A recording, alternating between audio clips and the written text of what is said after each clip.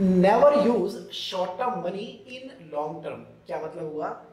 आप के overdraft account के अंदर सीसी अकाउंट के अंदर जो पैसा पड़ा हुआ है ना, उससे कभी भी फिक्स्ड एसेट नहीं खरीदना प्लाट एंड मशीनरी नहीं खरीदनी प्रॉपर्टी बिल्डिंग एसेट मत खरीदा करो शॉर्ट टर्म्स के पैसे से।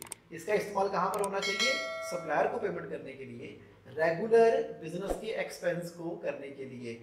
तभी आपके बिज़नेस के अंदर ना अबंडेंस ऑफ़ कैश फ्लो बना रहेगा। तो रूल हमेशा याद रखना never use short term money in the long term thank you